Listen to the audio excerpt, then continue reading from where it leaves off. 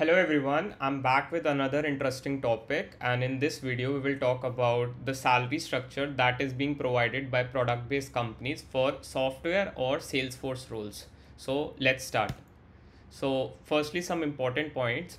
The structure is based on the uh, data for software slash Salesforce roles uh, and the data I took is like from Glassdoor. Uh, this video does not contain any numbers but only the structure like a general structure and components uh, of the CTC that uh, that is being provided by these companies and I'm trying to give a general sal uh, salary structure and not a specific to a company like software slash Salesforce roles in product based companies. So let's see. So usually uh, I've created this tree. So usually the salary structure contains three components one is the fixed component one the second one is the stocks and third is the variable portion. So now we will uh, deep dive into these uh, three components now the first one is the fixed components. So in the fixed components we have the basic pay and then we have the flexible components. So this uh, structure i think is same for every other company. Usually the basic pay is around 40 to 50 percent of the fixed components and the flexible portion is remaining 50 to 60 percent.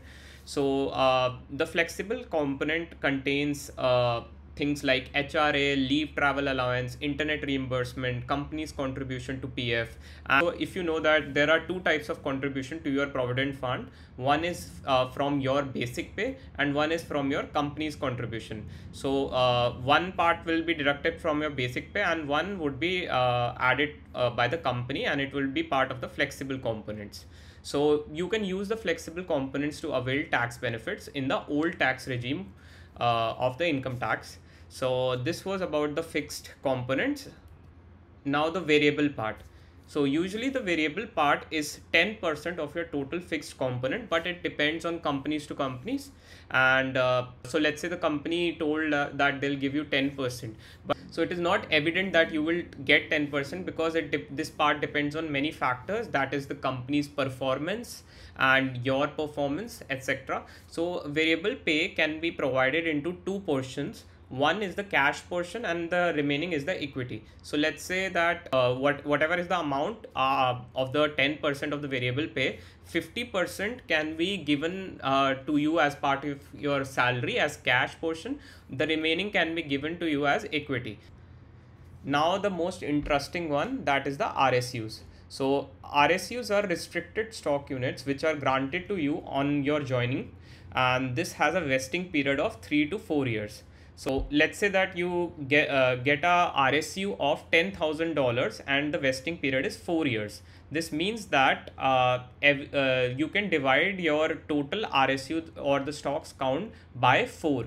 And uh, if I do ten thousand by four, it is twenty five hundred USD per year. So you will get twenty five thousand USD per year. So the vesting periods means that like uh, basically it is a, a strategy of the company to retain you. Um, retain you uh, in the company so that you will have a motive to stay in the company uh, and get your uh, stocks the second is the refresher stocks so refresher stocks are given every year and it is based on the performance.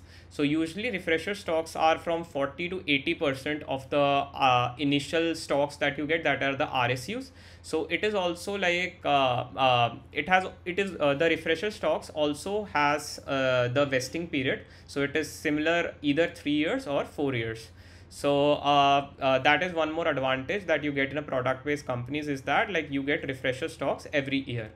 Then another benefit that you get at product based companies are ESPP, that is the employee stock purchase program. Uh, so here uh, employees can uh, take part in this scheme and they get the company stock at 15% discount.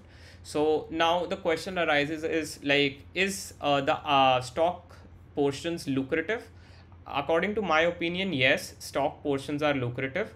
Uh, since uh, the refreshers with the refresher stock thing you get stocks every year and uh, after let's say you complete three or four years you get at least two to three grants per year.